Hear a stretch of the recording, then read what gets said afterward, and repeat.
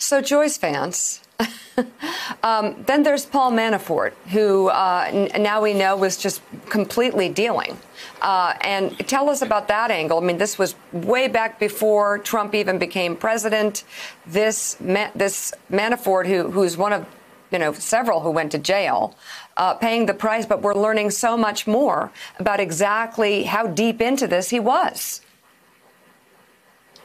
It's just another piece in this puzzle of lies that we've been talking about this morning, Mika.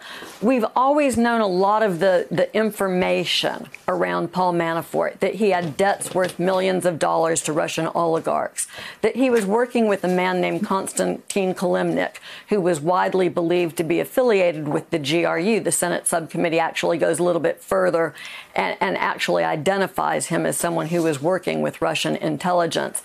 And so what we see here is just this patina of lie upon lie upon lie being told by desperate people close to the president. And, and folks don't go in front of a Senate Select Committee on Intelligence and commit lies under oath unless they have something to hide up. That's, I think, the, the big picture, the forest that we need to take away as we read this new report in conjunction with the Mueller report there were so many lies that were told on so many different subjects, and people don't subject themselves to the risk of perjury unless the truth is so bad that if the truth comes out, it will destroy everything. That's why Paul Manafort matters here. He's that first piece of connection to Russia.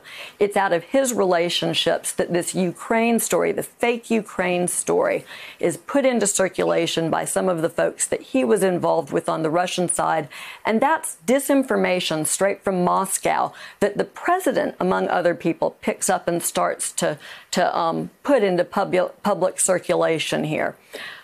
So the Trump folks, the Trump camp has all too often called perjury a process crime. Oh, these obstruction of justice crimes, they don't really matter. They're just process crimes. But what they are here is really the most important piece that we need to keep our eye on because the lying is hiding up something. The Senate, I think, has now told us very clearly what it is that they were so desperate to hide up.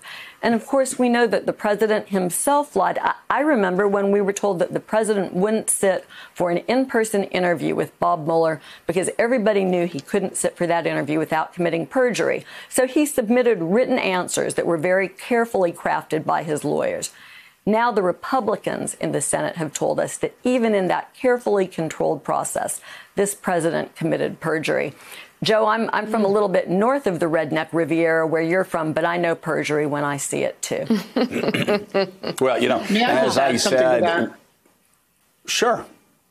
Uh, so you know, you and and and uh, Senator McCaskill, I think, in honor of your point earlier, we should all start calling this the Rubio report. And I just want to foot stomp a point that Joyce made about the Rubio report, which is you know, one of the central issues that it identifies is that the president's campaign chairman had a long-term business relationship throughout the including throughout the campaign in which he is feeding him internal uh, campaign polling and information who is a Russian intelligence officer. That is the fundamental claim of the first section uh, of this report.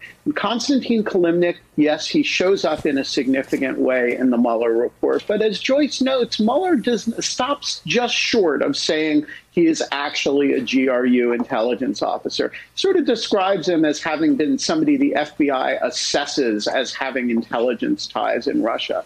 The Rubio report identifies him as a Russian intelligence officer and describes a long pattern of business dealings that Manafort has with him, including confidential campaign information running right through the period of the campaign.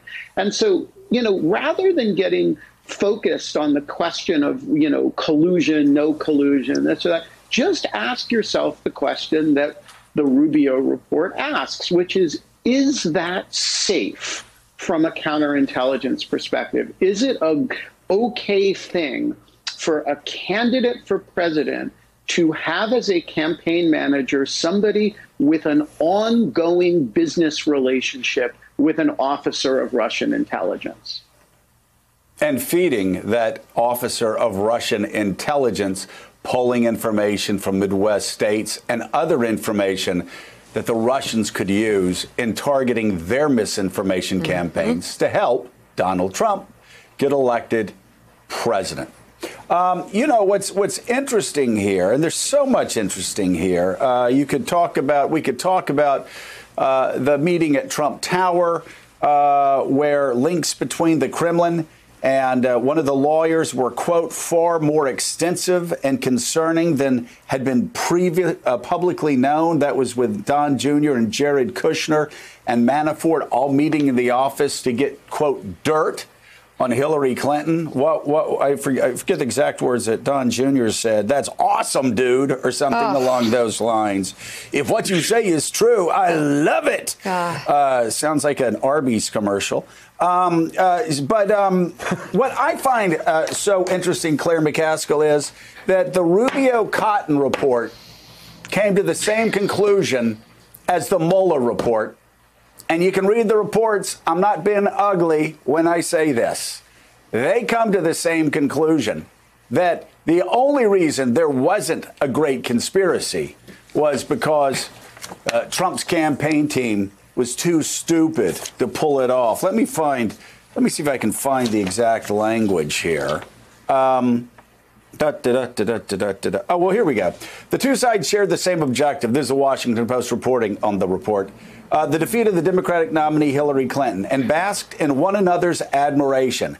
But more because of ineptitude than any principled commitment to the sanctity of American democracy, the partnership was never consummated, the kid committee determined, which is what Robert Mueller also concluded that the Trump team was just too stupid to pull this off, and the Russians uh, didn't trust them because they were uh, they were idiots, basically. Thanks for checking out MSNBC on YouTube and make sure you subscribe to stay up to date on the day's biggest stories. And you can click on any of the videos around us to watch more from Morning Joe and MSNBC. Thanks so much for watching.